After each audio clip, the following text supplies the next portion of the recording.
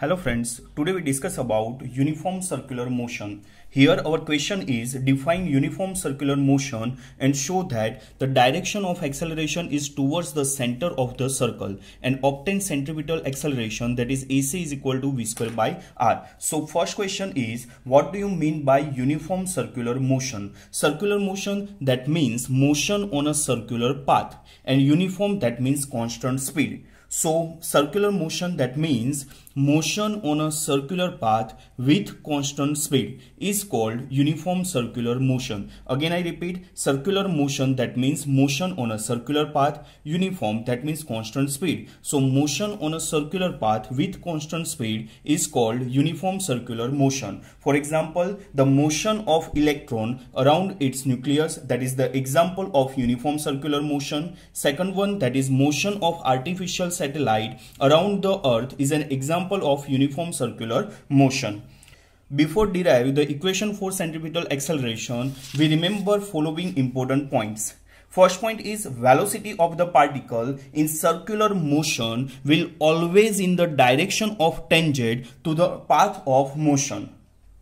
That means if object moving on a circular path and if we want to find the direction of velocity at that point then we draw one tangent at that point. So this tangent shows the direction of velocity. So first point is velocity of the particle in a circular motion will always in the direction of tangent to the path of motion. Second one that is velocity. Velocity that is a vector quantity. Vector quantity that means it has magnitude and direction both. So if magnitude is changed if magnitude is changed, there is a tangential component of acceleration. Tangential component of acceleration is nothing but the measure of rate of change of magnitude of velocity. Rate of change of magnitude of velocity that means speed. If the speed of the particle is constant, then tangential acceleration is zero. Tangential acceleration is zero. Because here, tangential acceleration that means rate of change of magnitude of velocity. Magnitude of velocity that means speed. That means tangential component of acceleration that is dv by dt. Here v that is the speed because here we consider only magnitude. And if the speed is constant then tangential component is 0 because constant derivative that is 0. So tangential component of acceleration that is 0 is speed is constant. In our case there is a uniform circular motion. So uniform circular motion that means constant speed. So in uniform circular motion tangential component of acceleration is zero. Again i repeat tangential component of acceleration that is nothing but the measure of rate of change of magnitude of velocity. Only here we consider magnitude. Magnitude of velocity that means speed. And if the speed is constant then tangential component is zero. So in uniform circular motion tangential component of acceleration is 0. Here it is not affected by the change in direction of velocity. Tangential component of acceleration that is not affected by the change in direction of the velocity. So second thing is direction. If direction is changed, there is a centripetal acceleration or you can say that normal component of acceleration. So normal component of acceleration is nothing but the measure of rate of change of direction. Rate of change of direction to the path of motion of a particle and is always towards the center of curvature. Hence, it is named as centripetal acceleration. When the path is straight and not curved, then normal com component of acceleration that is absent. That means zero.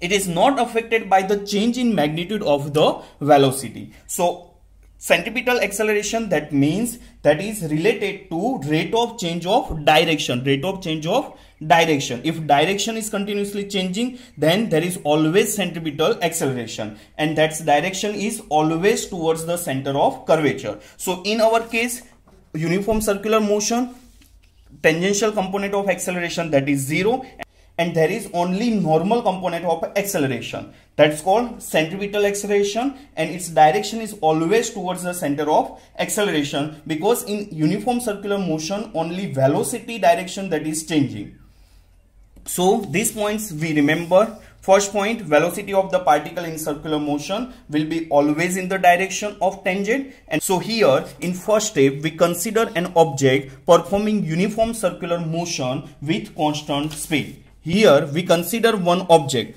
performing uniform circular motion with a constant speed. So here we consider one object at point P. Let R be the position vector and v that is the velocity of the object velocity of the object is always in the direction of tangent to the path of motion here object is performing uniform circular motion. Let r be the position vector and v be the velocity of the object. At point p at time t p be the initial position. Here object performing uniform circular motion. That means here P dash that is the final position. So R dash that is the position vector and V dash that is the velocity vector at time t plus delta t. So here position vector is rotated by an angle delta theta in time delta t. Again I repeat here object is performing uniform circular motion. Let P that is the initial position of the object. So R, R that is the position vector. V that is the velocity of the object. At point P at time T. P be the initial position and let P dash that is the final position. So R dash that is the position vector of P dash, V dash that is the velocity vector of P dash at time T plus delta T. So here position so here position vector is rotated here position vector is rotated by an angle delta theta in time delta t that is the delta theta that is the angular distance if we connect if we connect initial position and final position so that is the displacement vector delta r if we connect initial position and final position we get that is the displacement vector delta r of the object. Here delta r value that we can find by the help of triangle law of vector addition. If two vectors acting simultaneously on a body, if two vectors acting simultaneously on a body are represented both in magnitude and direction by two sides of triangle taken in order. Then the resultant then the resultant both magnitude and direction of this vector is given by the third sides of that triangle taken in opposite order. So here r dash that is the resultant. So r dash is equal to r plus delta r so delta r that is the r dash minus r. So final position vector minus initial position vector. Now we draw velocity diagram. So here from this point that is velocity is v. So here we draw velocity that is v. Here from this point velocity is v dash.